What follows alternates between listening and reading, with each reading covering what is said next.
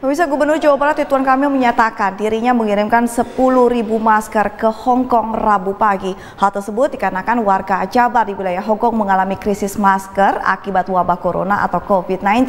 Dirinya pun menyatakan akan mengirimkan masker ke daerah lainnya seperti Taiwan dengan menggunakan dana operasional pribadi.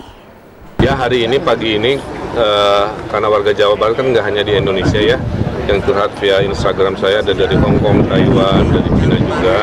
Dan di sana mahal sekali dan krisis. Ya, kita belum krisis lah, kita juga butuh, tapi kita kan belum krisis ya.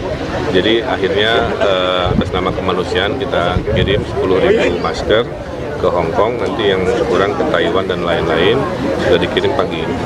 Nah intinya kita merespon warga kita yang mungkin sedang punya keresahan karena virus corona atau COVID-19 yang tidak ada di Ridwan Kamil menambahkan semua masker tersebut dibeli dari dana operasional pribadi. Dirinya pun berharap Indonesia tidak terinfeksi virus corona atau COVID-19.